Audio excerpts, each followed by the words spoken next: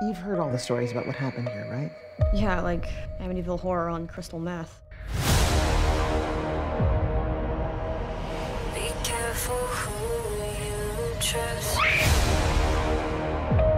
It's a cinematic experience. Don't look! You're Sin, I believe in you. I get it. I get it. Savage. There are hundreds of spirits in this place. Most of them not very nice.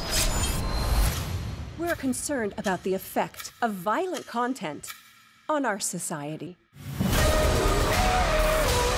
Holy! I'm sorry. That was dark. I went dark. I apologize. There's so many wonderful ways to make people suffer.